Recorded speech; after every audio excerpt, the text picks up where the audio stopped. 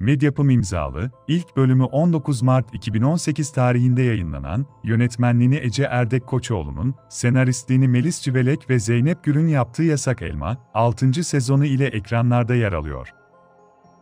Başrollerinde Şevval Sam, Eda Ece, Biran Damla Yılmaz, Murat Aygen ve Şebnem Dönmez'in yer aldığı dizi, ilk günden itibaren reyting rekorları kırdı. Entrika dolu sahnelerin ekrana geldiği dizide Yıldız'a hayat veren Eda Ece ve Ender'i canlandıran Şevval Sam, oldukça sevildi. Yıldız karakterinin rekora taşıdığı diziye bugüne kadar sayısız oyuncu girdi ve senaryo sıklıkla revize edildi. Bu oyuncuların bazıları iz bıraktı bazılarının serüveni ise uzun soluklu olmadı, dizinin ilk başlarında yer alan isimlerden olan ve Zeynep'e hayat veren Sevda Erginci, geçtiğimiz günlerde de geri döndü. Projeye konuk oyuncu olarak geri gelen Sevda Erginci ile ilgili müjdeyi, rol arkadaşı Eda Ece verdi.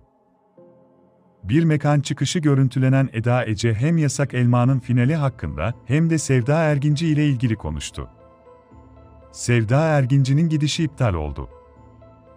Bir mekanda sevgilisi Burhan Tuncer, Melisa Doğu ve Sevda Erginci ile oturan Eda Ece, çıkışta gazetecilerle sohbet etti.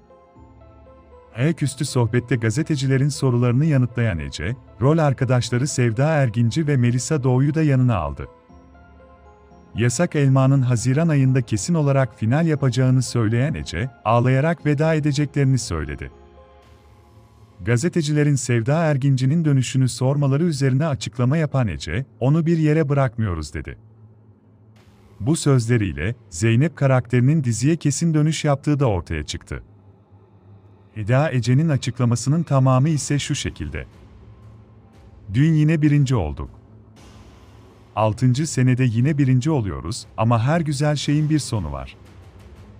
Bu sene kapatıyoruz defteri.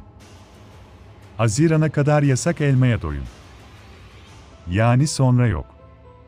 Çok ağlayarak veda edeceğiz. Ona eminim. Çok seviyorum yönetmenim Ece Erdek Koçoğlu'na bayılıyorum. Arkadaşlarımı çok seviyorum. Yasak elma benim kalbimde hep yaşayacak. Bu senede güzel güzel gitsin bakalım Haziran'a kadar sonra. Yeni işlere bakacağız.